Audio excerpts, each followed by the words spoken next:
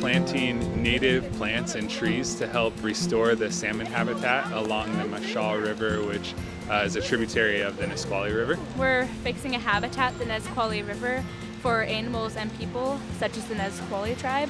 This is old, historically old cow pasture. There isn't much out here, and it's really to protect the rivers and the salmon that's in there, creating new habitats, protection, shade, a new food source, just trying to really give back to what we've taken before. And we're planting it, rejuvenate the forest, provide health for the system, and hopefully we'll have more salmon come through. We've got a group of kids from the science class and then also some kids from my Native American program. We have some tribal leaders here, big smiles on their faces because this is all part of a team. It takes a village.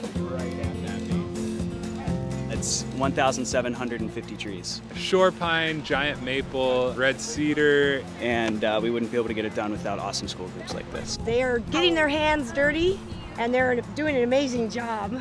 It's fun doing it anyways. You're getting dirty, you're having fun, having fun with other people. It's a good experience. I advise you not to wear your nice clothes and shoes. it looks pretty easy doing it, but when you're actually doing it and you're doing it by yourself, it's not that easy because they're huge dirt clumps. They're also seeing things that are in our terrariums at school, like lots of worms. oh, worm! Where'd it go? Worm. It just like shot out somewhere. Aww.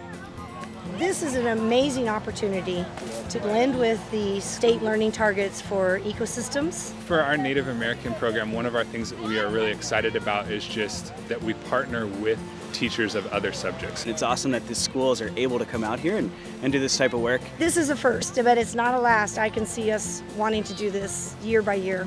They're going to be able to drive by this the rest of their life and know they planted those trees and shrubs. They did it. And that was really hard work that you guys did today. We really appreciate that you were able to do that. 163. Nice. That's awesome. That's a great number.